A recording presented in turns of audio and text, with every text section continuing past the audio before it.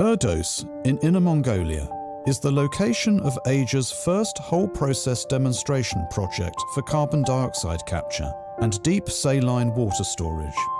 Wang Yongsheng and his team are tasked with expanding the annual storage capacity to 1 million tons.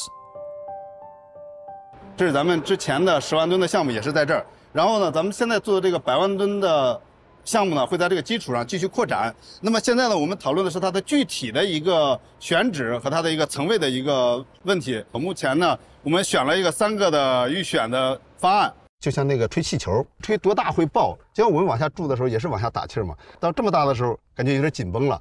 我再吹这么大，有可能砰就爆了。我能给它注多少，注到什么程度的话，我要设置一个上限。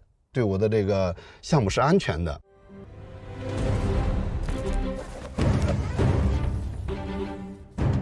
仅剩六米，药量三公斤。开始下药，堆上小土堆，包药完成。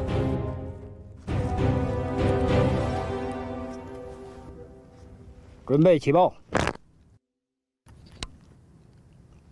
完毕。嗯，已已经完事了，是吧？对，对，比原来那个声音感觉还是也还还小一点的。你是不是以为像扎山那种大量？对，能感受到一点点的那种。对，但是其实这个信息，我们想得到信息已经采集到了。八百二十道节点检波器。Wang Yongsheng is gathering information from 3,000 meters underground. He'll use it to select the well site for CHN Energy's million-ton carbon storage project. For over a decade, Dr. Wang has been responsible for selecting the location for all the company's sealed wells. After inducing an artificial earthquake, the data will be calculated and analysed to generate a computed tomography reading that will be the basis for the team's decision. Wang Yongsheng is well aware of the significance of capturing, utilising and storing millions of tonnes of carbon dioxide.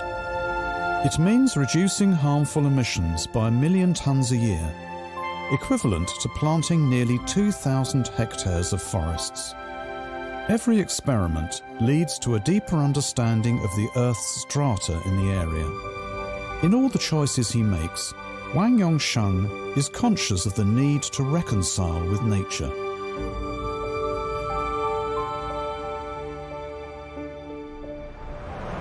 王子天啊，你们最近有没有什么活动？学校里边安排的？学校老师让做一个关于绿色环保的手抄报。你还有印象吗？咱们之前不是去过爸爸那边有一个二氧化碳补给封存的一个装置。啊，正常的话，咱们二氧化碳排在这个大气里边之后，咱们的树啊、花草的都进行了一个吸收，放出氧气是最好的一种处理方式。但是现在呢，大气中二氧化碳太多了，这些树花草草的都太累了，他们处理不过来。所以呢，咱们现在有一些工业的手段啊、技术和工程，其实它的处理效率也会很高，也能帮助人们来做一些这个工作。Carbon dioxide is invisible.